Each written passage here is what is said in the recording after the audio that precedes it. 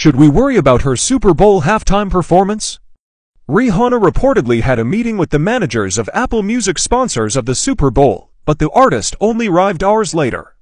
Other rumors reveal Rihanna has hardly rehearsed.